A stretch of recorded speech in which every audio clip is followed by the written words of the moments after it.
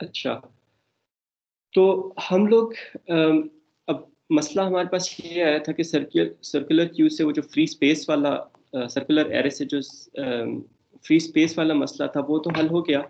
लेकिन अब हमें एक और मसला जो है वो नज़र आया और वो मसला हमारे पास ये था कि हम लोग जो है वो जब क्यू एम है और जो क्यू फुल है तो ये दोनों कंडीशंस में हम लोग जो है वो डिस्टिंग्विश नहीं कर सकते। तो इस चीज़ को हम लोग कैसे जो है वो हैंडल करेंगे? आ, हम लोग क्या करते हैं कि इनिशलाइज उसी तरीके से हम लोग करते हैं। जिस तरह हमारे पास पहले था कि हम लोगों ने लेट्स साइज़ माइनस वन से रेयर और फ्रंट को इनिशियलाइज कर लिया था। ज़ीरो से भी इनिशियलाइज कर सकते हैं वन से भी मतलब क्योंकि सर्कुलर एरे है तो जहाँ मर्ज़ी से हम लोग इसको इनिशियलाइज कर लेकिन अब फाइव एलिमेंट स्टोर कराने के लिए हम लोगों ने फाइव स्पेसिस ली हुई थी ना। तो जस्ट इस कंडीशन को हैंडल uh, करने के लिए कि हमारे पास एमटी और फुल की अलहदा अलहदा हमारे पास कंडीशंस हों तो हम लोग क्या करते हैं कि अगर हम लोगों ने फाइव एलिमेंट स्टोर करवाने हैं तो हम लोग एक एक स्पेस एक्स्ट्रा ले लेते हैं। दैट मीन्स एरे अब हम लोग जो फाइव एलिमेंट्स की एरे नहीं लेंगे अब हम लोग सिक्स एलिमेंट्स की एरे लेंगे ज़ीरो से लेके फाइव तक ठीक है? तो बस ज़ीरो हो गया one two three four five एक स्पेस जो है वो हम लोगों को वेस्ट करनी पड़ती है। अगर हम लोग एरे यूज़ करें क्यू के लिए, एक स्पेस हमें जो है वो वेस्ट करनी पड़ती है और फिर हम लोग जो है वो उस उस स्पेस की बेस पे हम लोग डिस्टिंग्विश कर सकते हैं कि हमारे पास क्यू जो है वो फुल है यानी इसको देखने के कैसे डिस्टिंग्विश कर सकते हैं। लेट से रेयर और फ्रंट को हम लोगों ने साइज़ माइनस वन से इनिशलाइज करा दिया। यहाँ पे इस केस में हमारे पास साइज़ जो है वो सिक्स है तो उसको हम लोगों ने फाइव से जो है इनिशलाइज करा दिया। अब हम लोग वैल्यूज़ पुश करना शुरू करते हैं। हम लोग ये कहते हैं कि हमारे पास फाइव आया तो रेयर को प्लस प्लस किया, हमारे पास यहाँ पे फाइव आ गया, फिर टू आया रेयर को प्लस प्लस किया, यहाँ पे टू आ गया, फिर सेवन आया रेयर को प्लस प्लस किया, यहाँ पे हमारे पास सेवन आ गया, फिर हमारे पास फोर आया रेयर को प्लस प्लस किया यहाँ पे फोर आ गया, फिर हमारे पास एट आया रेयर को प्लस प्लस किया और वहाँ पे एट स्टोर करा दिया। तो अब ये हमारे पास सिचुएशन होगी। अब हम लोग ये कहते हैं कि जब रेयर प्लस वन जो है, वो हमारे पास फ्रंट के इक्वल हो जाए तो हम लोग कहते हैं कि हमारे पास क्यू जो है, वो फुल हो गई है। तो अब हम लोग फुल के लिए क्या कंडीशन बना रहे हैं? फुल के लिए हम लोग कंडीशन बना रहे हैं कि rear plus one is equal to front ठीक है? तो ये हमारे पास जो है वो फुल के लिए कंडीशन हो जाएगी। तो यहाँ पे हमारे पास एक स्पेस तो वेस्ट हो गई, लेकिन इस स्पेस को वेस्ट करके फुल के लिए अब हमारे पास डिफरेंट कंडीशन आ गई। एम के लिए हमारे पास वही रहेगी कि हमारे पास जो है वो रेयर जो है वो फ्रंट के इक्वल है तो ये हमारे पास एम की कंडीशन हो जाएगी, ठीक है? और हमारे पास जो है वो अगर जो है वो हमारे पास रेयर प्लस वन जो है वो फ्रंट के इक्वल है तो फिर हम लोग जो है वो कहेंगे कि हमारे पास क्यू जो है वो फुल होगी। तो अब हमारे पास क्यू फुल होगी अब हम लोग और एलिमेंट्स को जो है वो इंसर्ट नहीं कर क्यू में ऐड नहीं करेंगे, ठीक है? अब अगर हम लोग डी क्यू करना शुरू करते हैं तो हमारे पास डी क्यू में क्या होगा कि फ्रंट को प्लस प्लस करेंगे फाइव रिमूव हो जाएगा, फिर फ्रंट को प्लस प्लस करेंगे टू रिमूव हो जाएगा, फिर फ्रंट को प्लस प्लस करेंगे टू रिमूव सेवन रिमूव हो जाएगा, फिर फ्रंट फ्रंट को प्लस प्लस करेंगे फोर रिमूव हो जाएगा, फिर फ्रंट को प्लस प्लस करेंगे एट रिमूव हो जाएगा। और जब एट क्यू से रिमूव होगा तो फ्रंट और रेयर जो है, वो हमारे पास एक जगह पे आ चुके होंगे, ठीक है? तो अब हम लोग कहेंगे कि हमारे पास जो है, वो क्यू जो है, वो एम हो गई है, ठीक है? तो एम के लिए कंडीशन बन गई कि हमारे पास रेयर और फ्रंट इक्वल है, और फुल के लिए ये कंडीशन बन गई कि रेयर प्लस वन जो है, वो हमारे पास फ्रंट के इक्वल है।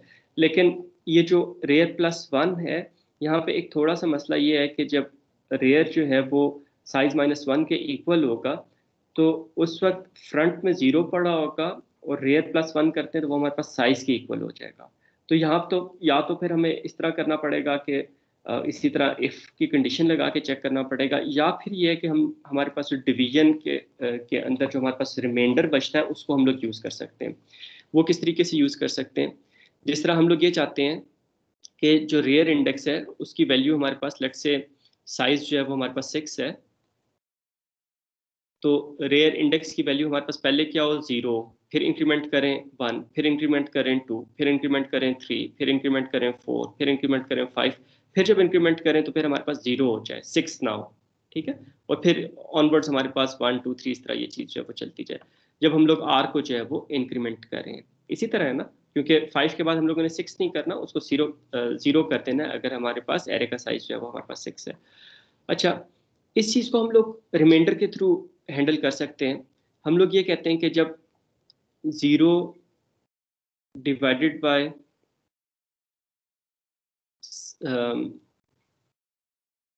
zero divided by six हम लोग करें साइज़ जो है हमारे पास सिक्स है तो हमारे पास रिमाइंडर जो है वो हमारे पास क्या बच जाएगा रिमाइंडर इस केस में हमारे पास ज़ीरो ही बच जाएगा ठीक है? ज़ीरो टाइम्स इनफैक्ट जब ज़ीरो से डिवाइड कर रहे होते हैं तो हमारे पास रिमाइंडर जो है वो ज़ीरो ही आ जाता है।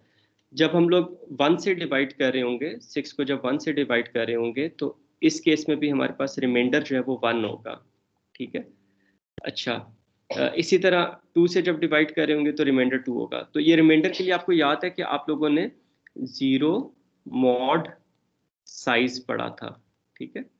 तो ज़ीरो मॉड साइज़ आपको ज़ीरो देगा वन मॉड साइज़ आपको जो है वो वन देगा, इसी तरह टू मॉड साइज़ आपको जो है वो टू देगा थ्री मॉड साइज़ आपके पास थ्री देगा। तो बेसिकली जो आपके पास रिमाइंडर बचेगा वो आपके पास अगर सिक्स से छोटी वैल्यू है तो वही आपके पास जो है वो रिमाइंडर आ जाएगा, ठीक है?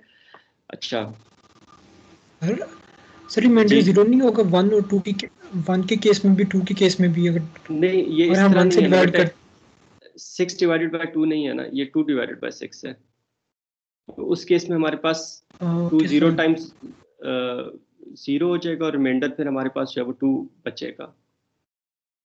ठीक है? ये मतलब सिक्स डिवाइड बाई टू नहीं है टू डिवाइड बाई सिक्स है।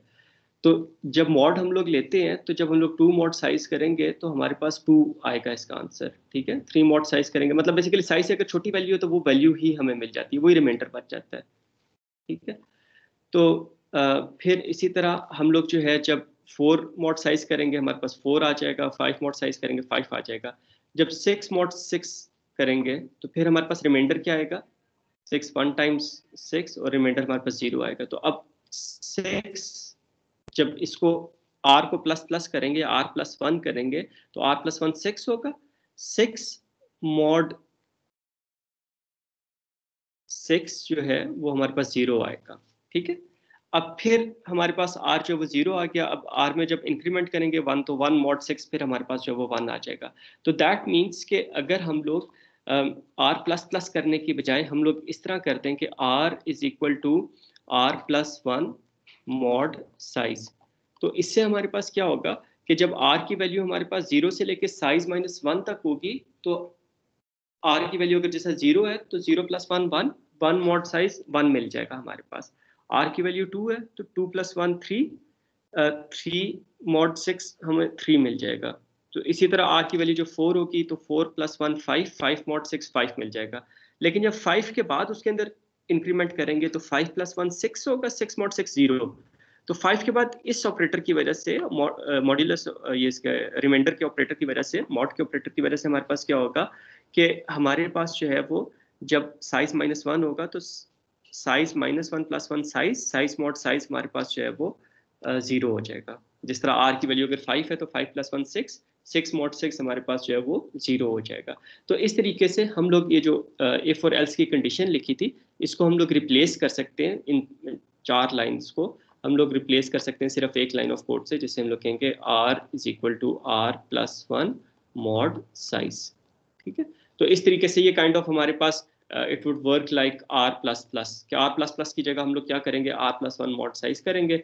तो जब आर की वैल्यू जो है वो हमारे पास साइज़ माइनस वन के इक्वल होगी फिर हम लोग क्या करेंगे कि उसमें जब प्लस वन करके हम लोग उसका मॉड लेंगे साइज़ से तो हमें ज़ीरो मिल जाएगा तो ऑटोमेटिकली साइज़ माइनस वन के बाद जो है वो हम लोग ऑटोमेटिकली जो है वो ज़ीरो पे चले जाएँगे साइज़ पे नहीं जाएँगे ये बात समझ आ गई सबको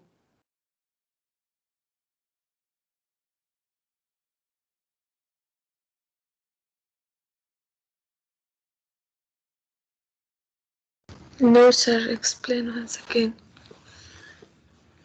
Okay. Uh, let me explain it again. So let's say we are incrementing the value of uh, a variable, right? So for example, we have a variable r and we are incrementing its value. So we initialize it with, let's say, minus 1, we do r plus plus. So in r plus plus, what would happen? If the value is minus 1, then r will become 0. If the value of r is 0, it will become 1. If its value is 1, it will become 2, right? We will just in, add 1 to the existing value and we will get the next value. So this thing will keep moving on. So when r is minus 1, we do r plus plus, we get 0. Uh, when r is 0, we do plus plus, we get 1 and so on. But when we increment r in such a way that we take the mod with the, with the size, let's say the size is 6 in this case. So what will happen when the value of r is minus 1, then r plus 1 would be 0, right? And 0 mod 6 would be 0. Do you get this point? Yes, sir. Thank you. Okay. Then when the value of r is 0 and we do r plus 1 mod size. So 0 plus 1 will be 1. 1 mod 6 would return, would result in 1, right? And then when we increment it again, 2, 2 mod 6 would be 2, 3 mod 6 would be 3, 4 mod 6 would be 4, 5 mod 6 would be 5. Now, when we will add 1 to it, 5 plus 1 would become 6, right? And 6 mod 6 would become 0. So after 5, we will not get 6, rather we will get 0. And then when we will again add 1 to it, we will get 1, right? And 1 mod 6 would again be 1 and the cycle will continue.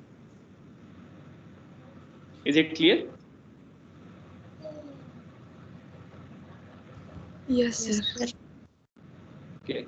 And um, we, we, can we can replace this if statement if r is equal to size minus 1 if you remember we we use this um, if statement to handle the increment operator in such a way that after size minus 1 we we do not move to size rather we move on towards 0 right?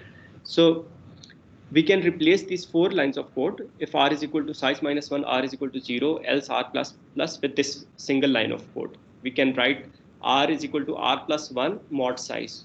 So what it will do it will increment the value of r by 1 and if the value of r becomes equal to size then we will make it 0 we will not make it equal to size. We will make it 0 because of size mod size